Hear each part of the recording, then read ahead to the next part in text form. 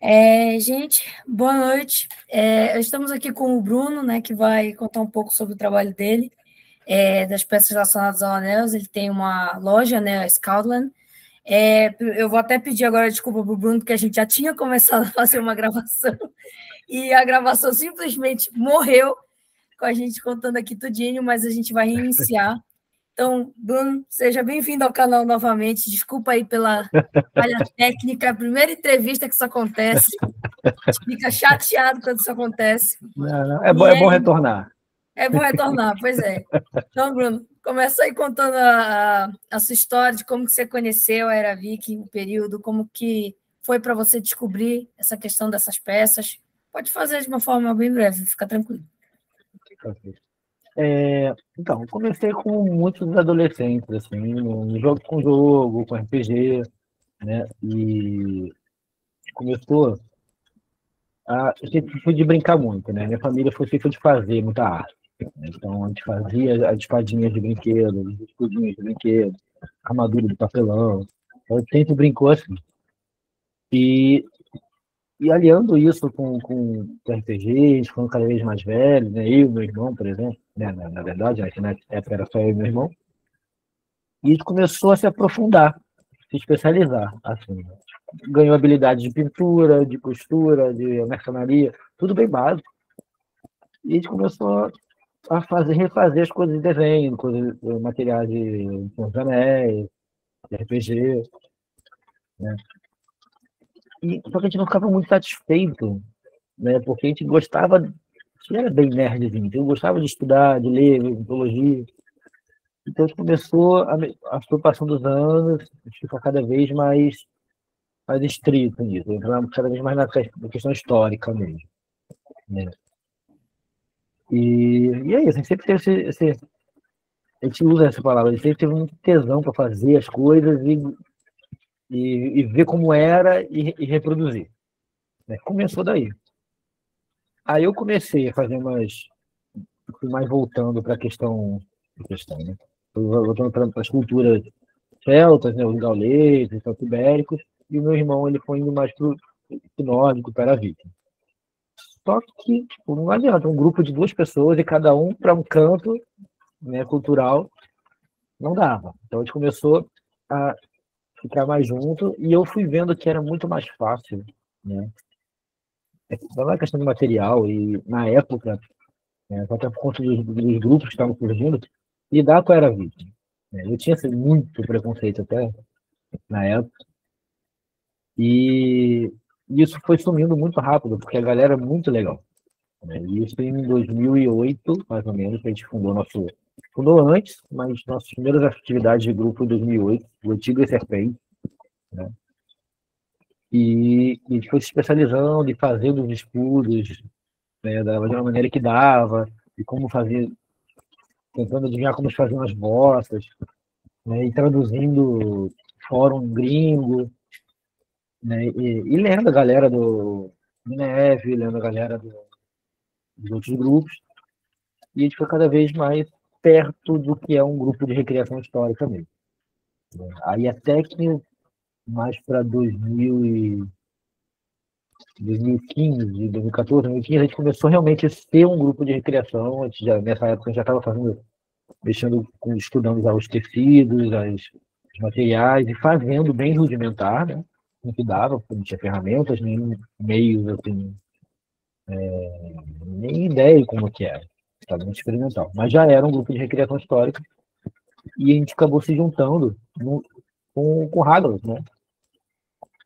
E em 2018 eu entrei no Hagler e as coisas, as coisas já, já foi se encaminhando mesmo como recriação histórica.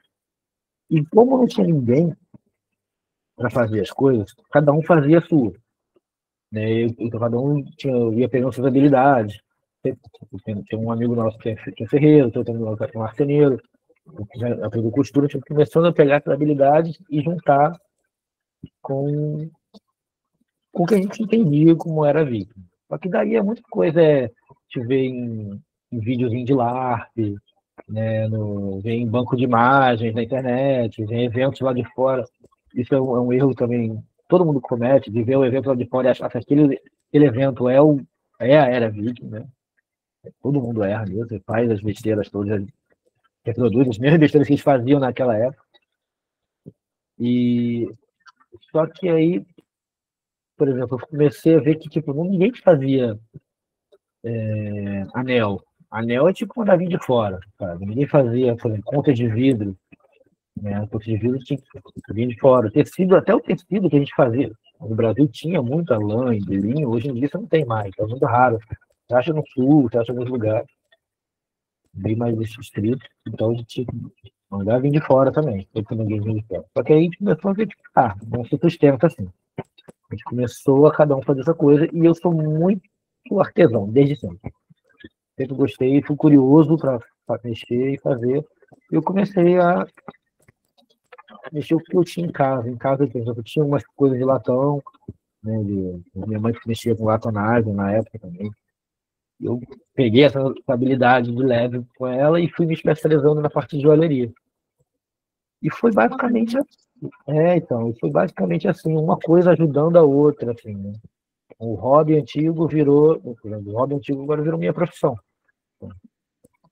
E, e, e foi daí, assim, mais ou menos, que eu entrei, né, na coisa da recriação histórica. Muito legal.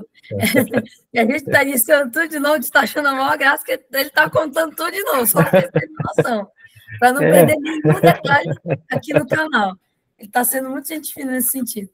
É, e, Bruno, é, a gente estava até comentando, né? Como foi que você fez aqueles estudos né, arqueológicos, para o pessoal saber, para poder recriar essa peça, como até estava citando, é, a gente sabe que o anel ele não é um elemento muitas vezes mostrado em filme, a gente vê muito de longe, e acho que um dos poucos que eu vi pela primeira vez um pouco mais de perto foi o anel do rei Arvandir no filme do Homem do Norte, em que você consegue ver algumas coisas, alguns detalhes. É, na cena que o príncipe Amleth é, dá um, um, beijo no anel dele para recebê-lo, a rainha também. Então, é, pela primeira vez ele está lá usando, aí ele está com certa postura que o anel aparece. Então, é bem interessante como que o, os anéis foram começando os achados arqueológicos para fazer. É, aí foi, foi nisso. Era muito aquela coisa, como eu falei. Você olhava gringo lá fora fazendo e tentava reproduzir. Né? A maioria das vezes o gringo já estava fazendo errado, porque ele não tinha feito pesquisa, e a gente reproduziu o erro.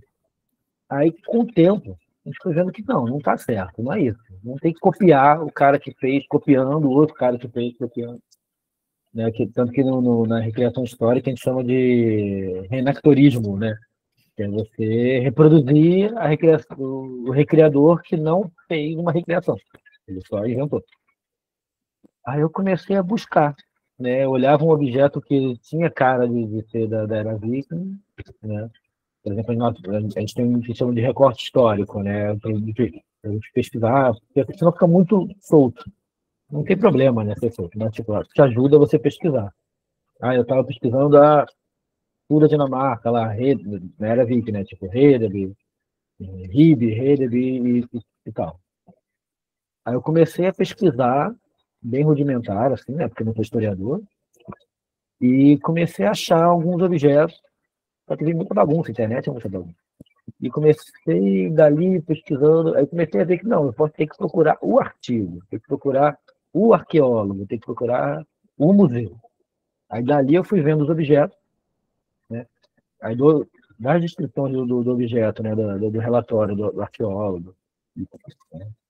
vem dizendo do que, que, era feito, liga de pobre, ah, tal isso, feito com função, ou então feito de é, fundido em cera perdida. Aí eu comecei, opa, função, função eu consigo fazer, não preciso fazer cera perdida. Eu comecei a, a buscar, pegar esses objetos um pouco mais fáceis, né, e treinar. E fui nascendo assim. Eu pegava o, né, eu, eu consegui o material, né, o, o latão. Hoje em dia eu consigo até fundir alguma coisa, né? Fazer mesmo. Né? Depois fazer um curso de universitaria para poder fazer o material, por exemplo. Posso fazer a mistura para fazer o latão. Mas não dá para fazer todo dia. E foi com isso, fui pegando pequenos objetos que eu estava precisando na hora. Ah, quero um anel pra, da época, tal.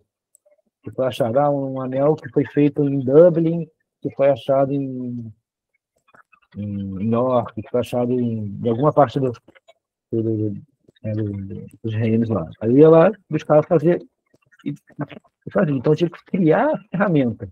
Né? Por exemplo, eu até peguei aqui, deu tempo aqui. Dá, dá, dá para enxergar? Dá, Tem, dá para enxergar. Ele, ele é o. Ah, é isso que faz aquele desenho no anel. Isso. Ah, então, isso aqui, isso aqui foi forjado, né? E fez essa ponta. Quem fez aqui, inclusive, foi o Vinícius, o Giorva. Fez comigo, né? ah, né? Muito Aí, legal. Ó, com isso aqui, você faz esse anel, por exemplo. Ah, eu acho que eu trouxe. Então, trouxe um bracelete de repente o contraste fica melhor. Ó bracelete. Nossa, tá fantástico. Mesmo... Dá para ver muito bem. Então a gente começa a fazer, tem que fazer a ferramenta para poder fazer as peças. Né? É... E isso não ficou só na joalheria, né? Ficou na, na, em vários objetos. E a gente não tem nada, né? A gente não tem como. Não, não tem aqui, né? Eu comecei a fazer né, objetos utilitários, por exemplo, aqui. Então, eu faço até agulha. Né? Tem aqui, por exemplo, uma agulha para lã grande. Que linda faço... agulha. Sim. Nossa, muito bonita a agulha. Até a agulha serve... tem moveleiro em cima, é muito bonita. É, então, mas aí eu fui vendo que dá ser... Eu fui melhorando. Né? Por exemplo, eu criei isso aqui. Criei não, copiei. Isso aqui é um porta-agulha. Por exemplo, você acha em, em Dublin, em vários lugares, que é basicamente um tubo com corrente, e você tira aqui, ó. Que legal, gente, muito perfeito esse. Nossa, Aí eu fiz a agulha da costura, fininha nele. Nossa, a agulha da costura. É, por exemplo, essa aqui não tem ninguém que faça. Ninguém não vai... conheço mesmo. Assim, assim aqui no Brasil não conheço. E, e lá fora tem duas ou três pessoas. Assim, duas, três pessoas, é. Por aí. É, porque. É, primeiro porque a agulha, a agulha de latão, por exemplo, né, liga de cobre, ela não dura uhum. tanto. Então as pessoas fazem as coisas com agulha normal, mas é sempre legal ter. Né? Por exemplo, parte da minha túnica foi toda feita nessa agulha. Né? Toda Nossa, feita à mão. Né? Aí desde isso, aí, por exemplo, ah, tem as, as faixas de perna, né? as liningas lá. As liningas, liningas. Ah, como é que prende? Ah, tem gancho achado em tal lugar. Eu vou lá e. Procuro. Se dá para fazer, vou lá e faço o gancho. Você prende. Você, você, prende a, você prende a lã, né? Enrola na perna e você engancha. Né? Aí você vê, aí vou começar, uma coisa vai levando a outra. Vou, ah, um, esse gancho eu usava, usava, na perna. Por que, que usava na perna? A gente vai vendo lá nas, nas covas, era sempre do lado da canela que você achava. Né? Aí você ia lá, mandava mensagem para o arqueólogo. Ah, mas era isso mesmo? Ah, foi achado a maioria na, na, na canela, então era o gancho de linguis. Foi achado com fibra de, de lã, mesmo a fibra de lã que estava enrolada. Então a gente começa a fechar esse quebra-cabeça. Então a gente acaba brincando com o arqueólogo, com o historiador, de, de botar mais uma peça. Né? Uma peça é que a gente beira que é a arqueologia experimental, né? A gente pega, uhum. o, a gente pega o, os dados e bota na realidade. Cria ele, dos dados, a gente cria o objeto. Né? E testa. Se dá certo, e, e, é isso. A gente começa, vai seguindo. Aí, é, é tô cheio de objetos aqui, por exemplo. Eu vou até falando, fazendo até o jabá já. Pode mostrando, fica à vontade. É, por exemplo, ó, tem, tem uns brincos de têmpora, que já são mais que é mais para o leste, né? Ah, esse brinco eu já vi. Isso, eu que aí usava, tá usava na, na faixa série... aqui. Isso, tem um, acho que a, na a... série Bárbaros, né? Ele tá tem, tá tem. Um... Eu acho que quem usa um desse parecido, inclusive com, com os guizos, ele usa uma outra, ela usa uma outra versão. É a Bjork no próprio Homem do Norte. Isso, exatamente, bem lembrado. Ela usa os objetos de um achado em eu acho que de Novo Grodo, que é que tem os búzios e que tem é uma espiral e uns guizos. Né? Eu, eu, já reproduzi isso, inclusive a minha esposa, que também é do meu grupo, ela é historiadora, ela reproduziu os buses e botou, a gente fez essa, esse achado também, fez essa reprodução. Ah, muito legal, bacana. Vamos saber. Então, ela faz então também. a gente. É, faz. Ela, ela é do grupo, é, é mais antiga que eu no grupo. Ela... E ela é a uhum. historiadora do grupo, né? Então, se quiser depois conversar com ela, é só chamar. Ah, com certeza. Já, já vou agendar entrevista com ela, depois tu me passa o contato. E você estava me falando também, né, que você gosta de recriar, né, quando vê fotos que o Neve posta, né, você chegou a recriar uma coisa que era anglo-saxônica, né, que o Neve postou. Isso, isso. É, e com isso eu vou, né, eu tenho essa coisa de, de, de fazer, uhum. e às vezes, procrastinando para fazer outras peças, acontece de aparecer um achado. Ah, foi uhum. um detector amador de metal, achou uma cruz saxã em tal lugar. Aí ele já tirou foto, o pessoal do, o pessoal da, da, do museu lá achou, tirou foto e postaram, olha que legal, apareceu essa cruz. Quando eu olho e vejo que eu consigo fazer, é, eu vou lá, pego, refaço, no mesmo dia eu mostro, às vezes eu mostro na própria postagem do, do, do museu, nesse caso da cruz, eu mostrei até na, na postagem do Neves, falando sobre isso. E, e é isso, eu gosto muito de pegar esses objetos que, que estão fora da curva, né? O pessoal gosta daqueles brochões, do, do miolinho grandão, daquela coisa. Eu gosto das coisas ah, pequenas, sim. assim. Os, tem os broches, é, o, são os ovais, né? Que tem alguns de estilo de Berdal. E tem aquele que é o trifólio, que eu acho muito bonitinho, que é. Sim, eu também acho. Tem três pontinhas assim. É, então, e, e, com isso eu fui pegando, tipo, eu gosto muito desse, mas eu gosto que estão fora da curva, por exemplo. Tem, tem alguns broches que eram pontas de cinto, que foram reutilizados como broche. Eu falei, uhum. opa, isso eu consigo fazer. Aí já é um projeto futuro, de fazer essas coisas que não tão, não tão fáceis de achar. É, por exemplo, broche, hoje em dia você consegue comprar. É, uhum. essas outras coisas eu não consigo, então vou lá e faço. Veio a toda loja, né, a questão do, do, do hobby virar minha profissão veio disso. Veio do interesse de fazer o que não tem mais. Eu tenho algumas peças minhas que tem duas. Uma com o meu cliente, ou com algum amigo meu, e outra na cova, e só, sabe? E, e é isso. Aí eu, isso é que eu gosto muito de, de, de fazer. Nossa, esse da Cruz, por exemplo. Esse da Cruz, por exemplo, é isso. Tem um, um amigo meu que comprou essa cruzinha de mim, que ele faz um, um cristão, um saxão, né? Um recorte dele. Só tem esse e do museu. Não vi mais ninguém fazendo. Caramba! Então a gente só tem dois praticamente, então até agora não. É, não, vamos alguns, dizer assim, recriado. Alguns, né? alguns objetos é, isso mesmo. Interessante.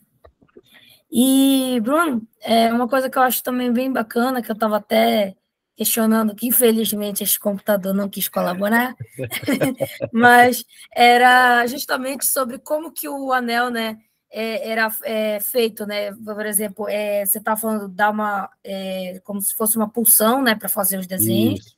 E para ir formando ele assim, para ele ficar nesse formato assim, redondinho, digamos assim. Esse aqui é um ah. exemplo, digamos, de daquele tipo mini torque de anel. Mas esse assim como você faz, é, como é que você vai fazendo para ir moldando ele, o recorte? Como que funciona toda a fabricação? É, então, eu fui, fui vendo os achados e conjecturando, mas, e, e aliei isso ao meu curso de universaria, né? Que eu fiz um curso bem básico, na verdade, mais para pegar o jeito com as ferramentas. E, e, eu fui vendo que, tipo, muitas das coisas são feitas quase iguais, como eram antigamente. Então você tem algumas opções para você fazer uns anéis, uma, uma, uma, joia, né? Ou você faz fundindo, né? Como na época a gente fazia com cera mesmo, a gente esculpia alguma coisa em cera de abelha, botava na, na, na areia e jogava o metal quente, e ah, o metal quente substituía a cera. Ou eles faziam com chapa, né? Eles pegavam o metal, batia, batia, batia, deixava ele bem fino, né? Igual uma chapa, cortava, porque eles tinham, por exemplo, tesoura de chapa, desde aquela época. Tesouras pequenininhas, igual da, da universaria de hoje em dia. Aí, por exemplo, eu tenho até um anel vazio aqui. Ele pega uma chapa, sem forma, ele vai lá e faz um formato. Por exemplo, fiz um losango. Né? Desse losango, vai lá, ele vai lá e vai lixar, vai fazer todo o trabalho para né, não, não machucar ninguém. Daí ele vai começar a, a fazer a punção. Né? E pelo que a gente vê, tipo, muitas punções tinham, tinham locais, assim. Né? Algumas punções eram muito, muito genéricas, tipo um triângulo com ponto, o um círculo. Né? Se você, você acha todo, todo mundo viking, assim, e até além. Né? Mas aí você tem algumas específicas, por exemplo, essa aqui, que é uma borboletinha. Dá para ver? Ah, dá. Olha que bonitinho. É tipo uma borboletinha. Isso aqui, Sim, por exemplo, é você a gente achou um, se eu não me engano, até agora é um bracelete foi achado em. Não, foi em York. Foi do lado de lá. Tá, achou numa das colônias, Vigo, ali, no norte da, da Inglaterra, mas que ela foi feita na Irlanda. E na Irlanda eles faziam muito, por exemplo, muitos dos meus materiais vieram da, de Dublin né, a, a, o desenho, né, porque de Dublin muitas muitas joias de prata saíam, né, então muitas coisas eram feitas para lá. E esse aqui, por exemplo, foi foi feito lá e foi achado esse bracelete aqui. Ó, usando. Nossa, muito bonito. Então é assim, você faz o faz o objeto, né, e você vai marcando ele na bigorna Aí com isso você tem que tra tratar, né? Igual, igual, igual na, na, na universitaria moderna, né? Você tem que tratar, né? fazer um choque térmico nas, nas peças, deixar ela mais mole, depois desfiar, depois polir. Então é o mesmo processo, só que é tudo na mão. Né? Você não tem máquinas de, de ficar polindo, você não tem máquinas, então eu tenho que fazer tudo como era realmente, né? no fogo, no braço, como era feito na época. Ah, bem legal. E uma coisa que eu também estava bem curiosa, que você acabou de falar, né, da matéria-prima. Mas é, qual é assim, basicamente, o que, que é necessário? É somente os materiais de metal ou precisa pedir um outro tipo também de material para fazer a matéria-prima? Por exemplo, são vários tipos de metal ou tem é. um tipo específico? Como é que funciona é. para conseguir a matéria-prima para quem quem está querendo ou pensa em fazer esse tipo de essa, trabalhar nessa área? Ou quem quer. É, hoje em dia, hoje em dia é bem mais fácil. Hoje em dia você pode, por exemplo, comprar uma chapa né, de, de latão, uma chapa de cobre, uma chapa de bronze e fazer. E cortar e fazer. Né? Não precisa mais fazer a chapa, né? Porque, até porque é um, é um trabalho gigantesco. E nem na época né, era igual com a forja, igual com a marcenaria, não era uma pessoa que fazia, né? era sempre, tinha sempre os ajudantes, sempre os, a família, né? Era sempre a comunidade estava envolvida no, no, processo, né? E isso é a mesma coisa. Né? Você, por exemplo, eu não vou ter um, ter um ajudante para fazer a chapa para mim, né? Então eu vou lá e eu vou comprar a chapa. Nunca a chapa já vem com a qualidade já, já certa, porque antigamente as ligas de cobre eram muito imprevisíveis, né? Tanto que você vai ver os. Isso é coisa que a gente vai aprendendo, né? Fora da, fora da academia, assim, né? Porque eu não faço parte da academia, mas a gente vai aprendendo.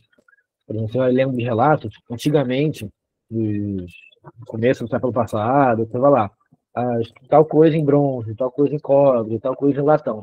Mas quando eles iam ver, era uma mistura que você não dava, você não podia dizer, né? Porque não era padronizado. Então, se tinha muito, muito bronze, que tinha muito chumbo, por exemplo. Que hoje em dia é impossível uhum. você fazer uma peça com chumbo. Né? É impensável, por exemplo. Eu não vou fazer um anel com 10% de chumbo, por exemplo. Então, é, isso facilitou. Você já compra, o, por exemplo, o latão já específico, bom para isso. Isso em qualquer loja, assim, de qualquer loja. Né? Tem as lojas de latão, né? latão, bronze, você já compra já a mistura certinha das ligas de cobre, né? Tudo liga de cobre. Uma, com o latão é cobre com zinco e o bronze é cobre com estanho. Né? Hum. E isso. E na época. Saber. É, então.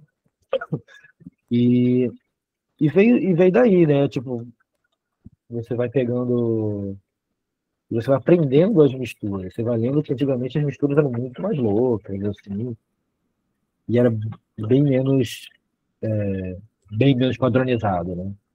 Lugar, por exemplo, lugar que você não tinha estanho, então eles faziam latão. Lugar que você não tinha zinco, fazia o bronze. E não era que era o mesmo nome. O cobre, o, o latão e bronze era o mesmo nome em nórdico antigo.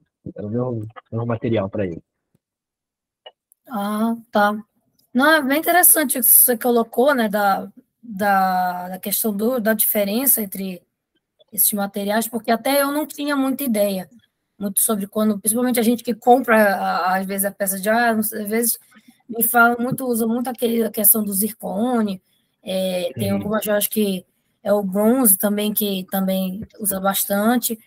Ah, o ouro, às vezes, ainda é aquela questão dos quilates, né, mas ainda não ainda está ficando cada vez mais caro, eu, eu acho que as peças Sim. em ouro, ele aumentou bastante, mas é bem interessante saber essas diferenças. E, de fato, é bem interessante que você colocou, porque gente, antigamente tinha muito aquela coisa da famosa mistura para fazer render, né? Que até Sim. isso no curso com a professora Luciana. Então, o pessoal mete chumbo, sabendo que o negócio é tóxico, mas vamos fazer para aumentar Sim. a quantidade e dizer que a peça é totalmente de um determinado material. Então, é bom que, que isso realmente mudou.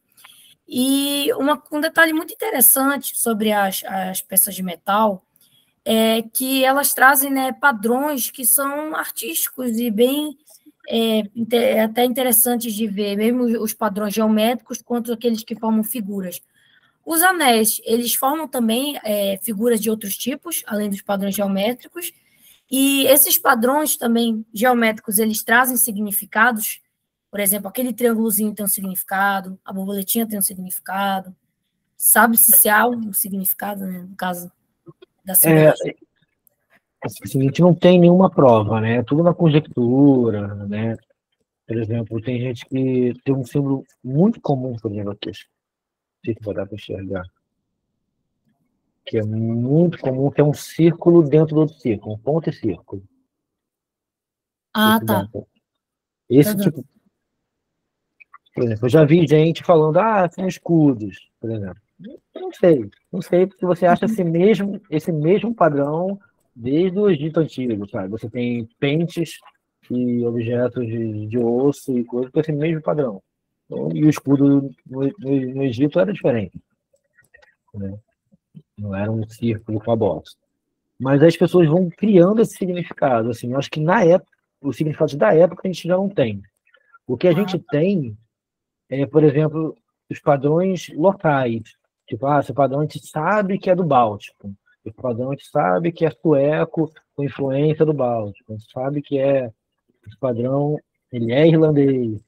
Né? Esse é, é, é, é hiberno nórdico, né? Você sabe que esse padrão tem, é, tem influência do, do, dos francos. Então você vê que em cada lugar, por exemplo, em rede tem muita influência dos francos, então você tem umas coisas, cada lugar você vai tendo essas influências, mas o significado, como você às vezes você não tenha né, o, o documento, né, alguma coisa falando, ou nas sagas, você realmente, ou você perdeu, ou são igual hoje em dia, são padrões né, mais abstratos, assim mesmo, né? Podem significar montanhas, mas podem significar família, então a gente acaba dando o nosso significado para para a época a gente não tem muita noção, a não ser que seja escrito, né? Como o Mjolnir está escrito Mjolnir, né? que foi uhum. achado, ou então uhum. aí, aí a, gente, a gente confirma né, que, que aquele objeto realmente era aquilo e não era uma coisa que o cara escreveu em 1300, mas sim realmente você tem o, a informação em loco. Ah, tá. Muito interessante. E é, a outra questão que eu até tinha perguntado era se há padrões de anéis da Era Viking com animais, com outras formas, sem ser as, as geométricas também. Se há padrões de dragão, ou algum animal, um lobo, por exemplo, eu... ou se esse anel aqui já é uma coisa já mais atual, né? Vamos dizer assim. É, é esse aí, por exemplo, esse aí é, um, é uma versão do bracelete, né? Então ele ah, é miniaturizado. Eu não me recordo de objetos muito pequenos com, com as gravuras, né? De, de qualquer estilo, Mamba, Higerico, né? Mas o objeto um pouquinho maior já tem.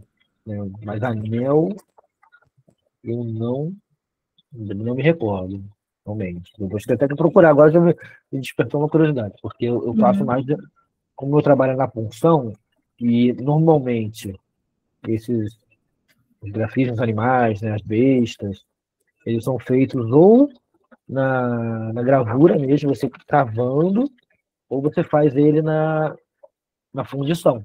Você faz ele primeiro na pedra, né, ou na pedra sabão, ou então faz na cera, depois derrete lá. Vou até procurar melhor, porque como não é minha área, fundição, então vou dar uma olhada. Mas que eu saiba, é só padrões padrões de função mesmo, então coisa mais repetitiva. Até porque, né, tem o que a gente chama de muitas das a maioria das joias, inclusive, né, dos rorros, é o que a gente chama de, de joias de lingote, né? Era hum. o pessoal derretia o material, né, o ouro, a prata, o bronze, e basicamente torcia e vestia. Era um lingote que a pessoa vestiu, ou seja, era um pedaço. Eu quero, isso aqui, ó, eu quero distorcer aqui. É, a não, é, que vai não vai não vai quebrar, justamente. Ah, não, tá. é, não é um uhum. né? Então, então ele não quebra. Ah, tá. Derretia, ficava assim, né? Que é mais fácil de você. O que, que eles faziam? Eles decoravam e vestiam, né?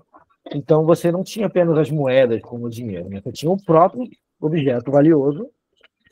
Né? Então você, por isso você acha muitos hordes, vários objetos desse quebrados que foi usado para. Provavelmente quebrou, botou num, numa balança e pagou alguém. Né? Ou então recebeu como pagamento. Então é literalmente vestir dinheiro. Então, às vezes, eu visto dinheiro uma maneira mais decorada ou menos decorada.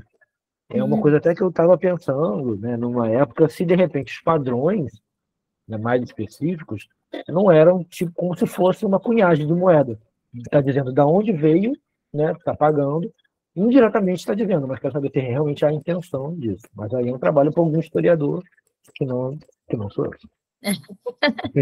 É, não, eu confesso que eu sou historiadora, mas eu também tenho algumas limitações em algumas áreas, tanto que as entrevistas são para conhecer mais a fundo, né, o trabalho de, desses, desses trabalhos manuais que realmente eu não domino assim todo, eu conheço mais a área de madeira e tapeçaria, vamos dizer, de costura.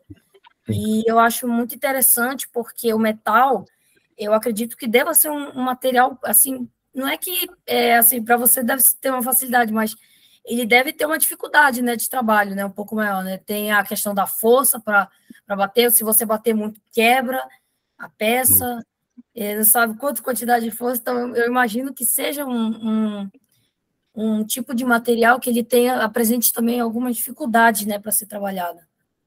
Sim, e, e, e, é um material, por exemplo, que você não pode desperdiçar. Hum. É, a gente aprende até em curso moderno de aniversaria, você tem que guardar até o pozinho da prata, o pozinho do ouro, ah. para você derreter e fazer mais peças, né? Porque é uma coisa que você não consegue achar mais, você não acha brotando do chão, né? Não uhum. nasce, do, não nasce da pele da ovelha, né? Não, não nasce da, da colheita. Então, é, e o metal é sempre muito estratégico, né? A questão, tipo, quem domina a mina, então você tem que ter. É, nunca é muito fácil, né? Tem que contido a, a, distribuição de metal. Tem que ir pagando o guerreiro, pagando terra, então nunca foi distribuindo a esmo, nome presente a esmo. Então, uhum. então você realmente tem essa dificuldade, né? tanto do material, né? quanto de fazer e de reaproveitar né? Você tem metais, claro, tem metais mais caros, né? o ouro, o prata, tem metais uhum. mais fáceis. Por exemplo, o latão você pode realmente pensar um pouco mais, que não tem muito problema, que é mais fácil de fazer. É mais fácil não, mais, mais abundante, né? Uhum. Mas, mas é isso, você precisa realmente da força, de entender as misturas, né? É um, é um muito especializado. Muito mais especializado do que eu sou hoje em dia, né? Porque eu pego material pronto, eu trabalho na parte, um, só modifico artisticamente ele. Na época, o cara tinha que ele entender, tinha que fazer as ligas, ele tinha que fazer o todo o material, né? Não já posso comprar aqui, qualquer uhum. perfil e entrava. Então, realmente, é. Necessitava muita coisa e não, não um cara sozinho, realmente. sempre fazendo parte da comunidade, igual qualquer outra profissão, né? É, um cuidava da, da ovelha, outro tosqueava, e outra. Né? E assim, a uhum. comunidade se ajudando. É bem, é bem interessante mesmo, porque hoje em dia essa facilidade realmente de você poder comprar os, os metais e a diferença de você pegar o metal bruto e transformar ainda para fazer a peça, eu imagino a trabalheira que não deve ser. É uma trabalheira gigantesca. Eu sei porque eu viajei muito né, para Ouro Preto, então eu sei o trabalho que o pessoal tem para tirar e transformar numa belíssima joia, porque lá eles pegam mesmo do bruto para fazer o, o, o, lapidado. Então é, é um trabalho assim que eu não, eu não imagino a, assim eu fazendo, porque deve ser realmente uma coisa assim bem, bem é. difícil, com muita, muita persistência né, para fazer. E uma coisa que eu achei bem interessante é que esses anéis que você faz, né, eles têm runas. Que eu até Sim. Comentar para o pessoal que eu encomendei aqui um cubrino bem bacana, que vai ser para apresentação da dissertação. Inclusive, obrigada por fazer esse anel, que é uma coisa assim magnífica, porque ele tem essas, esses detalhes de runas. E naquele tempo já tinha também esses detalhes com runas, e, e por que, que as pessoas botavam é, também essas runas? Tem algum também significado por trás? Colocar? Você, é, você tem alguns poucos anéis com runas, né?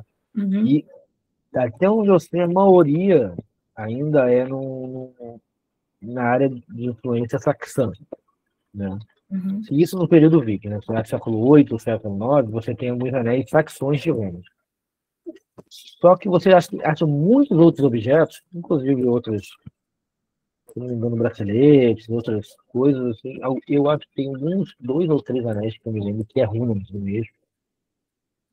Mas eles não são exatamente feitos na função, igual feito, com a intenção o, o joalheiro fez com o runas. Né? Isso normalmente foi o dono que botou as runas depois, né? O, esse, normalmente, assim, com as runas, né, diferente do que a gente, do, do culturalmente a gente acha que são as runas, né, que são muito mágicas, é, uhum. as runas eram, eram muito mais práticas na época, né? Então, a maioria dos objetos é eu fiz essa, é, da, da descrição é eu fiz esse objeto, ou esse anel é meu, esse, sabe, uhum. sempre alguma coisa, tipo, dizendo que isso aqui é, ou é meu, ou foi eu que fiz, ou foi para alguém, né? Então, não, dificilmente é tipo uma runa específica, um significado específico. Isso a gente usa hoje em dia, né? Porque a gente atribui né, uns significados das runas, né, que foi acumulando de lá para cá. Mas normalmente são frases, né? São algumas, por exemplo, você não tem, por exemplo, igual esse no bracelete aqui. Vou até tirar para mostrar. Ele é todo coberto de runas. Né? Isso aqui é uma.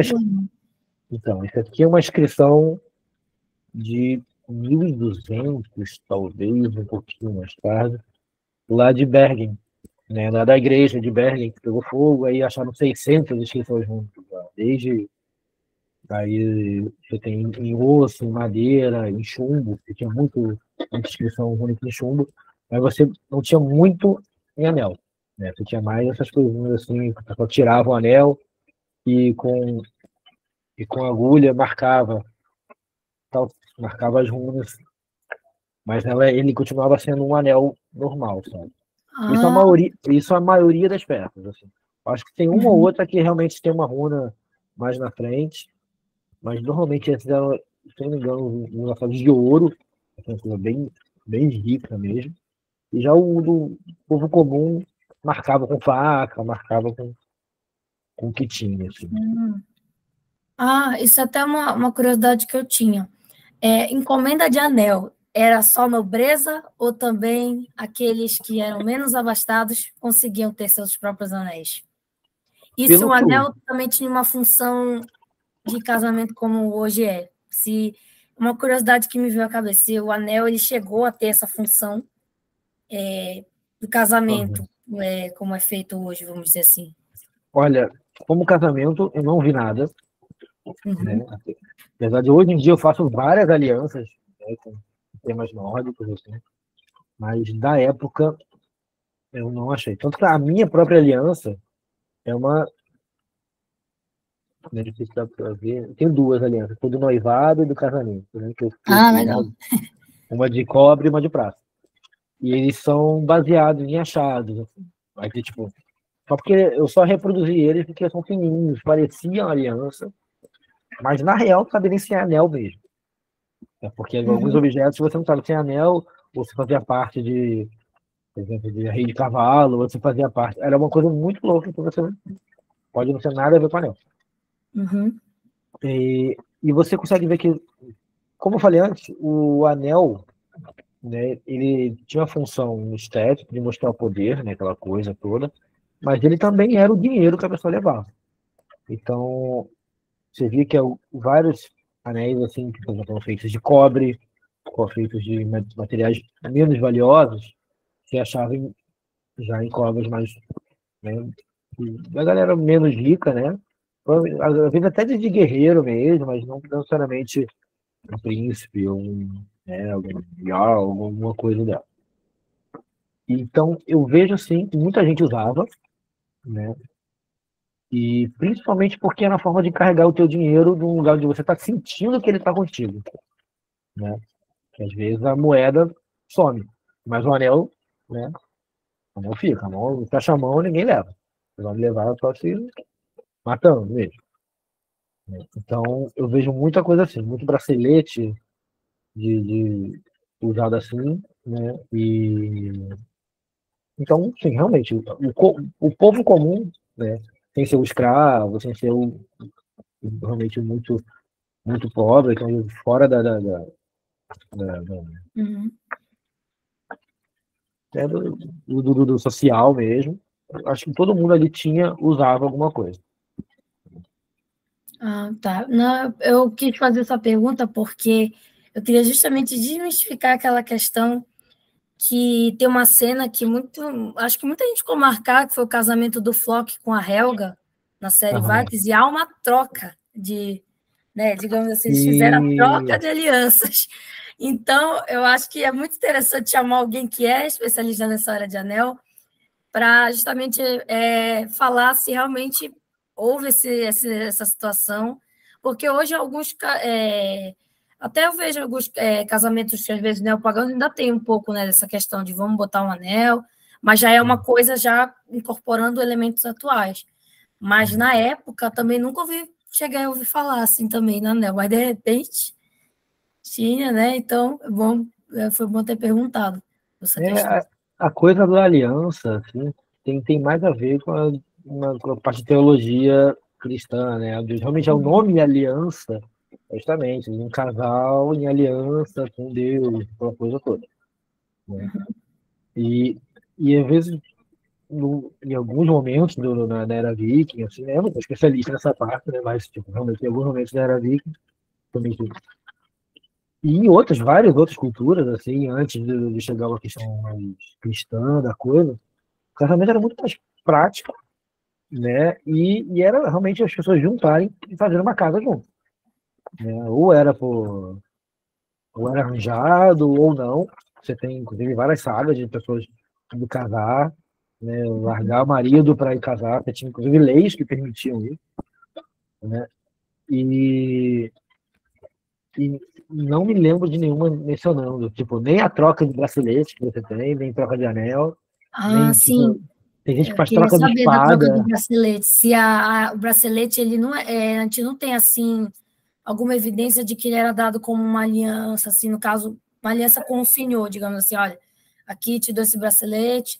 Que nem na, nas primeiras, acho que a primeira cena lá do, do logo do da série Vai, que já tem a, a passagem também de idade, era um bracelete que os jovens ganhavam, o pior é, então, Então, a gente não tem realmente dados relacionados a isso, né? Do bracelete é, o, forma de O que aliança. a gente tem é, é entender, igual eu falei antes, que isso é dinheiro. Então ele está pagando o guerreiro dele. Uhum. Então, eu, igual você vê em vários achados, vários hordos, né? Você vê um, um, caldeirão cheio de peças de prata, de bronze, e você vê várias, várias peças em prata, em ouro, em bronze, quebrados e pesados. Que é isso. Então, se tem um. Isso, isso já, é já, já entrando na parte de, né, de conjectura, de vendo o que, o, o que eu aprendi. e com o que eu uhum. tenho visto. Por exemplo, se eu sou o chefe ali, né, e eu tenho minhas joias, né, só eu, eu sou o dono das joias, né, daqui, eu que mando, quem pode ter e quem não pode ter. Então, se eu mando quem pode ter e quem não pode ter, só eu posso distribuir. Então, quando eu vou distribuir os meus guerreiros, o cara, ah, vou dar um presente para um dos meus guerreiros para ele montar, ele vai casar, ele vai montar uma fazenda. Então, eu vou dar um, uma ajuda no para ele. Então, o que ele faz? Ele vai dar um bracelete, ele vai dar um anel. Então, isso ficou uhum. marcado. Assim. Então, ele vai lá e dá um. Toma. Ainda mais quando ele dá o próprio, ou então um que está com ele, isso demonstra realmente uma afinidade. Pronto, está ganhando o meu.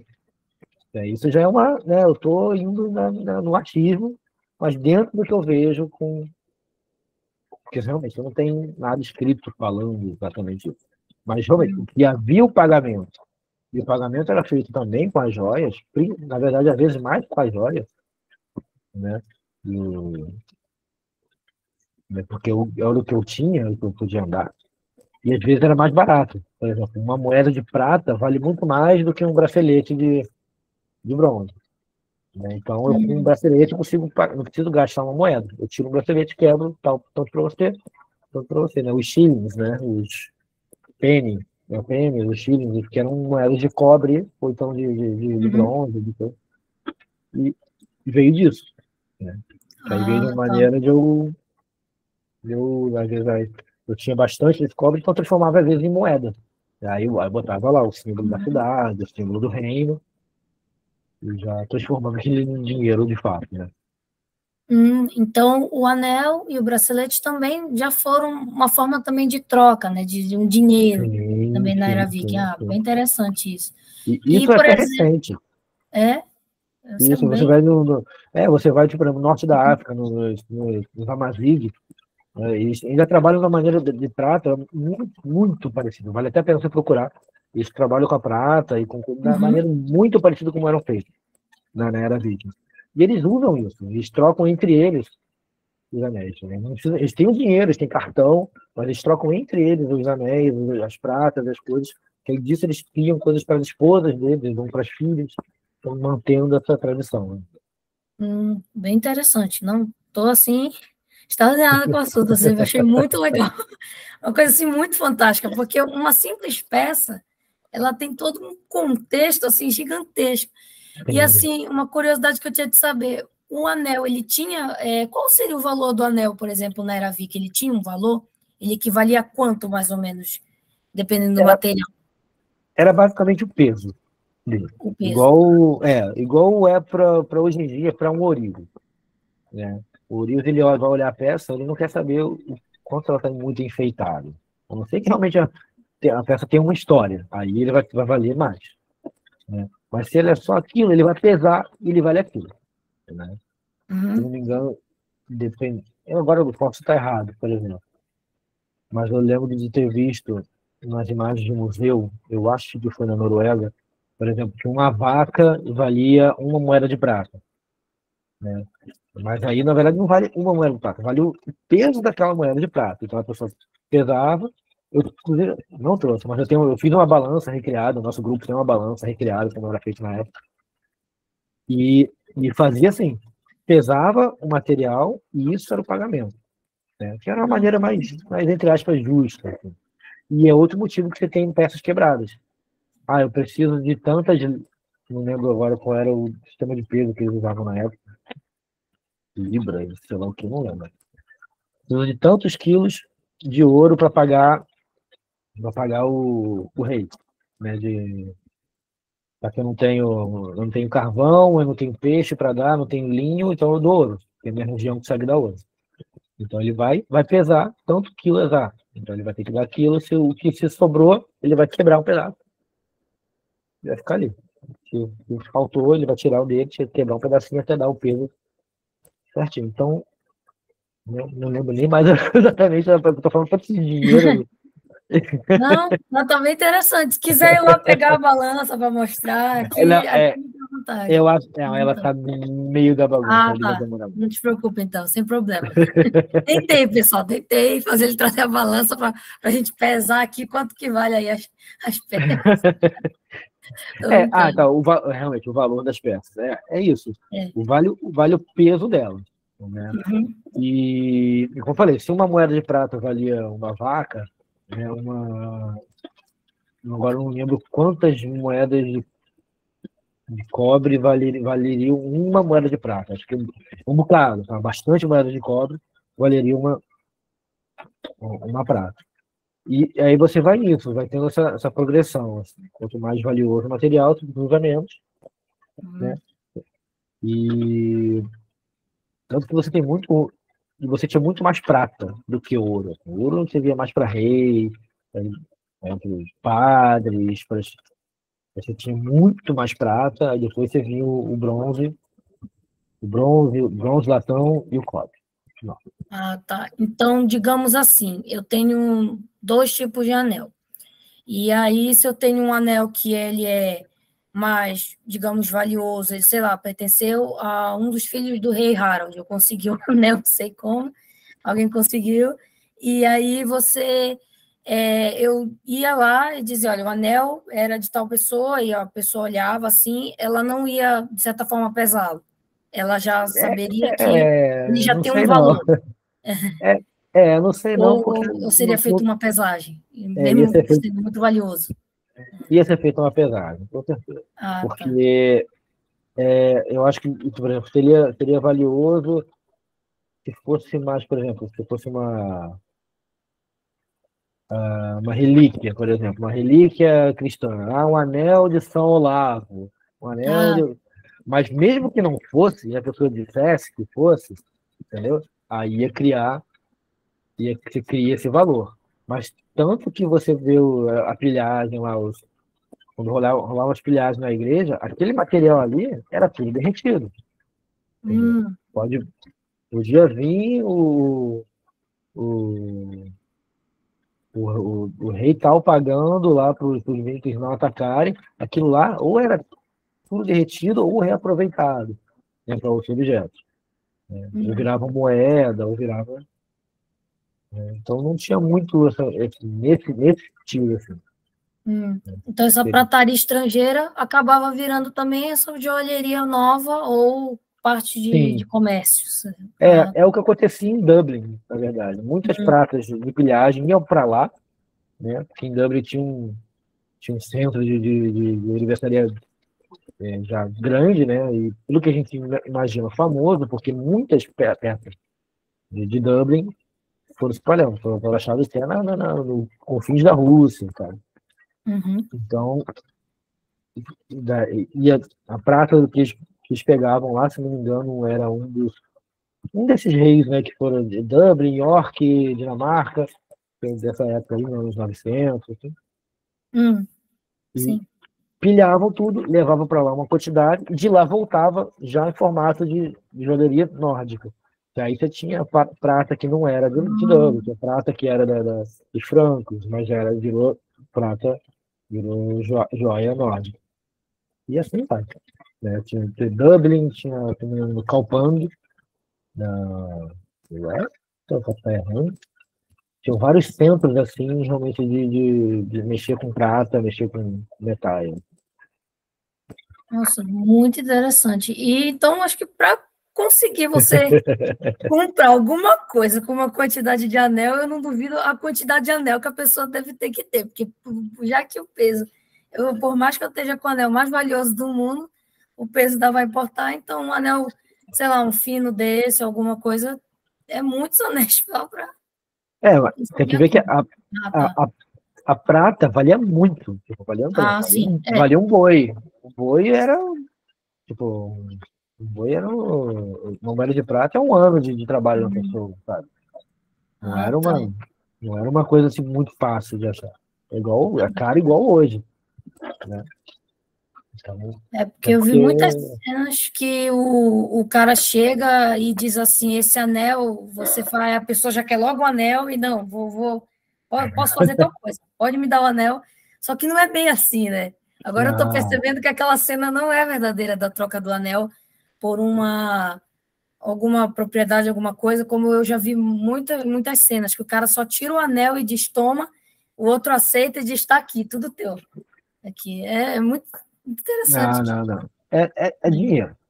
É, é, é, e assim, a gente não pode, assim, tá generalizando, assim, a gente não vê isso. Se aconteceu, algo, algo mais assim, algo com bracelete com um significado específico, tal pessoa específica, pode, pode ter acontecido. Como, por exemplo, uma das conjunturas assim, de, de, que isso pode ter acontecido, não foi nem com anel, mas foi com espadas. Né? Por exemplo, você acha algumas espadas que são muito iguais, com as marcas iguais, e provavelmente foi alguém que deu para o próprio para a guarda elite, né? para os Scouts dele. Então você tem isso. Ele pode ter dado duas espadas, todas iguaizinhas para todo mundo. E espada também valia tanto, porque ele, ela fez tanto do aço que ela valeu, como ele tinha ouro, tinha prata na espada, tinha todo o trabalho. Então, a espada também vinha com um material que era feito de dinheiro. Então, você tinha essa coisa. Assim, a espada também era valiosa como o dinheiro. Ah, bem legal isso. E a gente tem algum achado de algum anel com referências a, a Odin, aos deuses nórdicos? Ah, foram encontrados anéis. Eu uso este anel porque é, Odin, está, é, de certa forma, é um anel que me dá proteção. Foi algum, hum. algum achado encontrado assim? Não. Que eu, não. Que, eu, que, eu, que eu me lembro, é. não.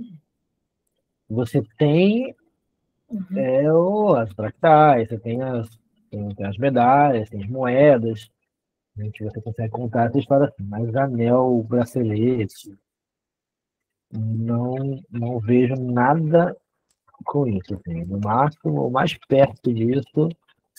Deixa eu ver aqui. É, o mais perto é o, é o martelo de Thor escrito martelo. Sabe? que aí você, Realmente e... não tinha muito. Ah, tá. E Bruno, é, para a gente fazer aqui a última pergunta, é uma pergunta que eu faço para todos os artistas no final que fazem assim esse trabalho. É, o pessoal fica, nossa, por que essa pergunta? Qual é, é. o trabalho que você considera que você fez? Você diga assim, nossa, esse foi o trabalho mais impecável da minha vida. Olha, é. um dos que eu mais me orgulho, eu até postei com do Neve, com a galera do Neve, com o Pablo, inclusive. Ah, legal. Inclusive, inclusive, esse bracelete foi ideia do Pablo, tá? Depois eu te conto a história dele. Ah, é, é, foi um kit de asseio, né? Um kit de, por exemplo, isso aqui, ó. É um kit que vem uma vem pinça, vem agulha, vem uma colherinha, uma coisa muito hoje em dia muito mundana, mas para a época. E o achado é muito, muito interessante. Foi um achado de latão também, é provavelmente latão pela cor. É tipo, aqui fica uma, uma, uma pinça. Ah, pinça, aqui uma, que legal! Aqui uma réplica de uma pinça da época, mas não é esse que eu fiz. Ah, o que tá. eu fiz, que eu me, me, orgulhei, ele era um. Ele era como se fosse um chaveirinho com, com, uma, com uma colher uma. Tinha pinça? Não lembro mais se tinha pinça. É, uma colher, uma. O que a gente chama de, de uma agulha de asseio, que é você limpar canto de unha, né? Ai, e, que bacana. Sim, e uma um cotonete. Já viu, ah, já viu o cotonete? Nossa, isso Você aí eu viu? os itens de higiene dele. Nossa, e... que bacana. Você já viu o cotonete da Aravic? É uma, o cotonete da Aravic era uma colherinha pequenininha que você tirava literalmente a cera com uma colher e limpava. Né? Então, Ai, gente, que perfeito. Agora eu fiquei com vontade sim. de encomendar um kit de higiene. Aí vou te mandar, vou te mandar a foto. Inclusive, vou te mandar a foto da minha reprodução e do achado, e você vai ter que adivinhar qual que é qual. Porque você vê o nível Beleza. O nível da coisa. Tá certo. Nossa, Bruno, assim, muito obrigada, viu, pelo comparecimento na entrevista. Foi uma entrevista muito proveitosa. Eu gostei bastante, porque realmente é uma peça que eu acho que ainda precisa ser mais vista, né? A questão do anel. Vamos, vamos tipo, os filmes depois do Homem do Norte, vamos ampliar mais a produção para botar mais essas peças. É, tenho assim é, muita saudade de ver num filme é, um mercado assim nórdico da era Viking, né, com muitas pecinhas, a pessoa mostrar um stand na hora das filmagens com anel, com as joias, tudo bonitinho assim. Sim. Eu acho que faltou assim em, algum, em alguns aspectos é, de muitas produções. Mas eu acho que daqui para frente, depois que teve esse filme do Robert Eggers, eu acho que a gente vai conseguir ter um filme com, com essa, essas especificidades bem minuciosas. Então, assim, muito obrigada de coração. Claro. Eu vou querer vir entrevistar a sua esposa, passe o contato. e põe aqui o contato também das suas redes sociais para eu botar na descrição, porque o pessoal vai querer conhecer o trabalho, vai querer, com certeza, adquirir os itens. então, vão ficar apaixonados pelos itens. Então, é, é. isso. Assim. Tá Inclusive, só para falar que tipo, eu sigo o artesão que fez as joias do filme. Né? Eu fiz algumas joias. Ai, que legal. Réplicas do que ele fez, tipo a coroa do, do rei, eu fiz. Eu fiz para um casamento. Uma amiga minha foi casá-la, que ela, ela queria uma coroa. E eu fiz uma coroa com a réplica, usando as funções que eu faço. Aí eu vou mostrar tudo. Mostro para você depois ali, pega as imagens. Ah, com certeza. vou parar aqui a gravação, pessoal. Esse aqui foi o trabalho do Bruno. Bruno, muito obrigado. Eu que agradeço. Vou parar aqui a, a gravação.